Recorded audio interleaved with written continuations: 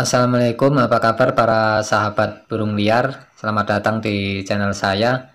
Dan channel saya adalah channel yang akan mengupas tuntas tentang semua burung-burung liar dan juga burung-burung peliharaan kita. Oke, langsung saja pada kali ini saya akan mencoba uh, mempelajari burung yang belum waktunya mandiri atau makan sendiri atau nucuk sendiri. Uh, bahasanya tergantung sama daerah kalian ya kalau di sini tuh nucuk sendiri. Jadi burung ini belum mandiri tapi saya telah mencoba ini e, eh, 5 menit yang lalu mungkin tapi saya baru ingat kalau saya akan bikin video ya. Jadi ada burung-burung beberapa burung tertentu yang bisa kita paksakan. Ya, jadi burung-burungnya itu pemakan serangga e, seperti contohnya salah satunya ya burung ini ya. Ini burung e, murai batu dan ada jenis yang lain mungkin uh, burung kacer ataupun burung ciblek ya burung ciblek terus burung pendet itu biasanya burungnya gampang respon ya. Jadi ada burung-burung yang sampai lama itu nggak mau diajari kita makan. Yang sudah saya coba adalah burung siri gunting dan burung sirdung juga ini ya. Jadi sirdung kalau bahasa sini kalau bahasa nasionalnya adalah cipoh atau sirto ya. Ini di bawah ada burung sirtunya. Oke bagaimana kita cara mengajarinya untuk agar burung ini cepat mandiri dan walaupun belum waktunya makan sendiri ya? Ya seperti ini kita cari ulat atau kroto ini di tangan saya ada kroto dan ulat Hongkong. Dan backgroundnya kasih hitam karena krotonya itu warnanya putih dan ulatnya itu warna kuning jadi kalau ditaruh di background yang warna hitam, itu pasti burungnya akan lihat.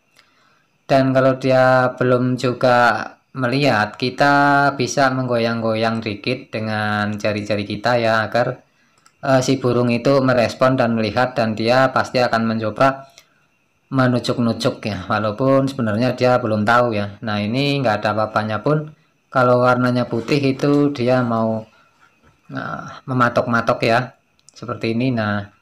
Jadi kita bisa menggoyang-goyangkan agar burung ini respon ke makanannya. Jadi teman-teman kalau mau mempelajari burung yang belum waktunya mandiri itu pakai fur basah itu rasanya jauh sekali ya. Kemarin ada teman yang nanya bagaimana kalau uh, burungnya itu masih belum waktunya mandiri tapi kita cari dengan fur basah itu rasanya nggak mungkin ya. Jadi burung ini ada urut-urutannya. Kalau dari kecil seperti ini ini kita bisa pelajari dengan e, gerakan ya seperti ini. Tapi nggak semua burung yang mau matok gerakan ya. Ya kar, e, karena makannya itu kan berbeda-beda. Jadi kalau burung ini makannya itu serangga ya. Contohnya kayak burung yang saya sebut tadi pemakan serangga. Jadi dia akan respon dengan gerakan. Jadi nggak mungkin kalau dikasih uh, fur basah doang ya. Jadi ini tahap pertama kita kasih ulat sama kroto. Dan kalau dia sudah hafal uh, di beberapa jam kemudian nah ini saya coba contohkan ya. Saya kasih fur sama kroto. Tapi burung ini akan merespon kepada krotonya karena dia udah hafal dan rasanya pun enak ya. Dan itu tadi udah mematok for rasanya nggak enak dia nggak mau ya. Jadi oh, nanti ada tahap-tahapnya. Jadi di sini burungnya akan memakan uh, makanan yang pernah dipatok. Ya, seperti ini. Contohnya dia matoknya sebenarnya nggak tepat ya. Tapi kalau uh, rasanya dia itu bisa merasakan. Jadi kalau nggak enak dia buang-buang kalau uh, pas matok kerotonya itu dia langsung telan dengan lahap seperti ini. Nah jadi kalau mau mempelajarinya agar burung ini makan fur ya gampang aja ya. Kalau ini udah hafal uh, enggak perlu menunggu berhari-hari ya. Kita telatenin aja itu hanya makan waktu sehari saja itu burung sudah mau makan fur basah ya. Jadi untuk pertama kali itu kita harus kasih makan fur basah seperti ini. Jadi nanti kalau ini udah bisa hafal ini nggak usah digerak-gerakin udah mau matuk kita tinggal campurin ke fur basah tapi sedikit saja. Nah furnya jangan yang satu warna ya kayak fur ayam itu satu warna.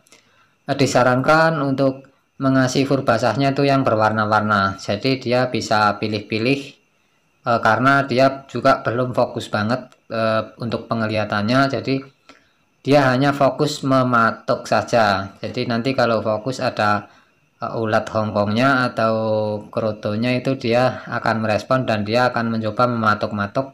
Walaupun nggak pas mematuk uh, krotonya dia akan mematuk ke fur basahnya seperti itu nah ini sebenarnya burung belum waktunya uh, mandiri ya. Tapi saya tadi udah mencoba memaksakan agar burung ini mau mandiri dan caranya seperti itu ya.